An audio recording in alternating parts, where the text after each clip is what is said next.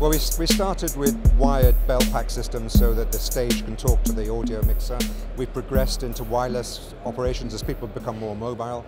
Um, we're, we're known for our digital uh, matrix systems as much as our party line, and now we do digital party lines, so we get multiple channels down the same cable. So technology has moved on, but the principle of it all is that we pretty much connect back to those devices we made in the 1970s. We can still connect those to our systems today, even though a lot of it's digital.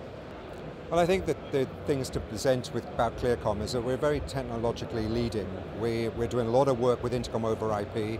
We, uh, we provide a very sort of ubiquitous kind of communication operation, so people across cities, across continents, can communicate on the same project. So a lot of IP technology. Uh, we're very keen on the way that the, the products present themselves to the user, so we're keen on displays. We, we have a lot of for instance, very international characters on our display, so lots of different languages like Cyrillic, for instance, uh, Chinese, Japanese and so forth. So we're inclusive of a lot of our customers and we sell the whole world. We're globally, we have a global presence through a lot of partners. So we have, we're all things to all people as much as communication is concerned.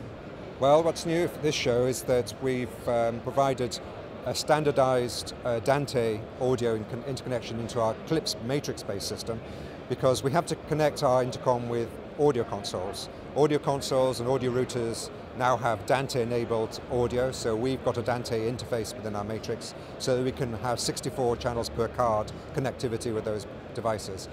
And because the controller software for Dante is outside our system somewhat, uh, we can transfer the labels in the metadata between the Dante system and our own key panels so that the, the users on the key panel can see the, the labels that the audio console has put above the faders.